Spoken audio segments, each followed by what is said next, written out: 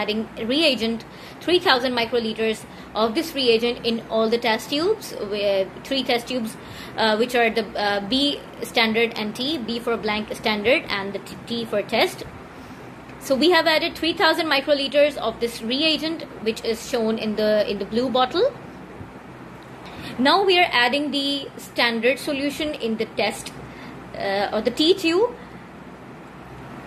We have added 30 microliters of the sample in the T tube.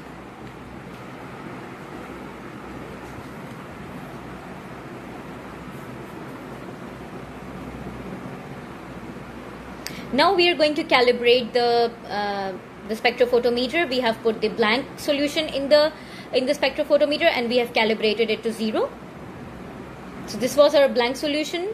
Now we are going to put the uh, sample in a cuvette and we will measure its absorbance and take the reading.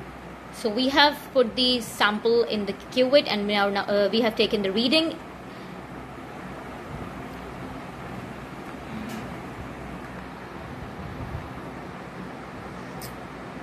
and at the end we are going to add this the standard in the cuvette and we will take the reading.